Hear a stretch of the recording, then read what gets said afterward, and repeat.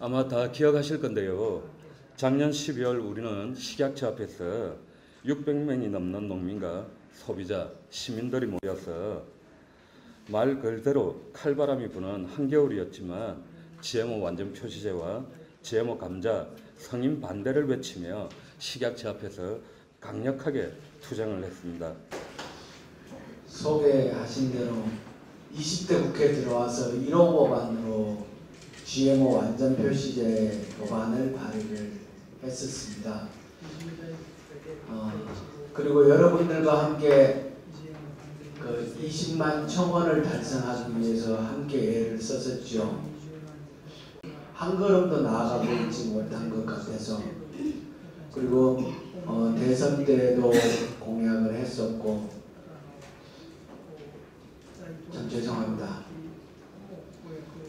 그 GM 면허, GM 면허는 원리가 이런 거더라고요. 그러니까 연어가 당연히 사료를 먹으면 큽니다만 계절적으로 날이 추워지거나 이럴 때는 성장이 느려지게 돼 있는 거죠. 이 키울 수 있는 시간을 단축하니까 경제적인 이득을 볼 수 있을지 모르지만은 당연히 모든 생명체라는 것은 크는 데 있어서 시간에 따라서 속도의 차이가 있는 것이 정상인데 이것은 그런 것을 구분하지 않고 먹으면 그냥 계속 크도록 만들어 게 GM 연어의 원리더라고요.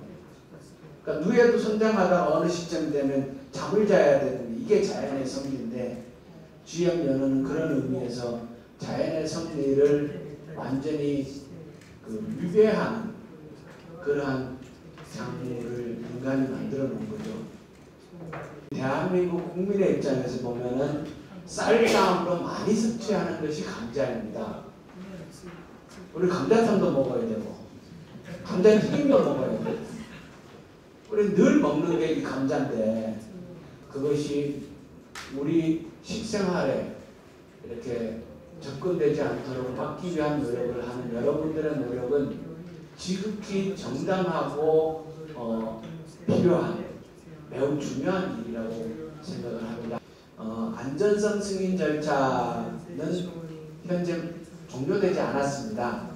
제가 알기에 여러분들 계속 문제 제기해서 이것이 시간이 늦춰진 것뿐만 아니라 최근에는 어, 추가 자료를 요청해 놓은 겁니다.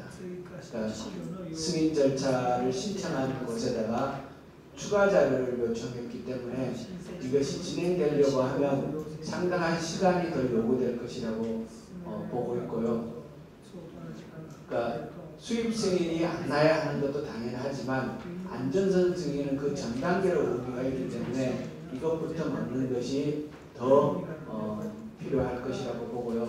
여러분들과 함께 어, GM 감자가 우리 생활에 이렇게 들어오지 않도록 우리가 감자 먹을 때 이게 GM일까 아닐까를 걱정하지 않아도 되도록 그렇게 함께 노력하겠습니다. 제가 한 가지만 자꾸 저더러 뭐 이런 농업 관련 행사를 좀 주선해 달라 이렇게 해서 저는 괜찮습니다.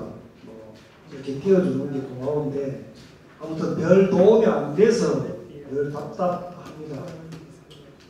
아, 저는 또 1년차 국회의원인데요.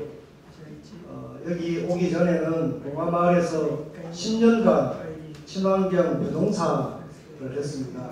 아마 그것 때문에 농사를 처음에 안 나고 이제 좀 함께 하자고 어, 자꾸 청하는 것 같습니다. 뭐 우리 생산 농가도 보호를 해야 되고 특히 우리 국민들의 생명과 안전을 지켜야 될 농정 당국이 정부가 이렇게 어, 확정되지 않는 검증되지 않는 유전자 조작 농산물들을 무분별하게 수입하고 그것을 어, 뭐 여러 가지로 미화하는 건 온당하지 못합니다. 어, 반대하고요. 어떻게든 오늘 여러분들의 좋은 토론이 어, 뭐잘 막을 수 있는 방법을 어, 도출하고 제시해 주신다면 어, 미력하나마 국회의원으로서 입법이든 정책이든 여러분들 뒷받침하겠고 저도 어, 제대로 된 농정 국민의 생명과 안전을 지키는 먹거리, 안전한 먹거리 또 우리 농민들이 어, 자긍심을 갖고 지속 가능한 농사를 할 수 있도록 어, 힘껏 뒷받침하고 어, 열심히 응원하겠습니다.